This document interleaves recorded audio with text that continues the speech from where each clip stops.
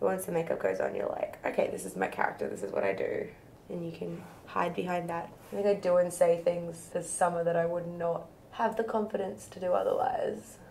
Having the big hair and the costumes and the makeup and everything, like, it's just easier to have like a big personality and just make up whatever you want as you go along before drag, I was always like in the second row or the back row and dancing or like off to the side or helping someone else out. In drag, I get to be right in the middle and I'm okay with that. I'm not Snow White, but I'm lost inside this forest. I'm not